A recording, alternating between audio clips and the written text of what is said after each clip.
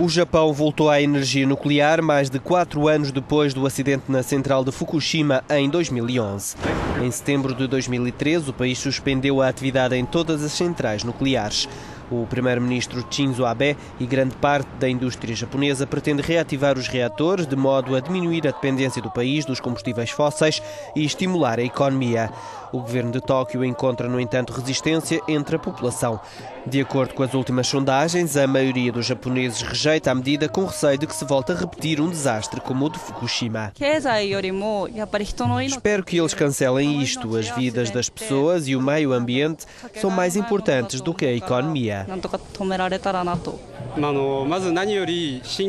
Estas novas normas que o governo AB fez com que a agência reguladora do nuclear acordasse apenas ficaram um pouco mais exigentes em relação a terremotos e maremotos, mas na verdade têm muitas falhas. Em março de 2011, a central nuclear de Fukushima Daiichi ficou gravemente danificada depois de um sismo de magnitude 9 na escala de Richter e consequente maremoto devastarem o nordeste do Japão e fazerem mais de 18 mil mortos e desaparecidos.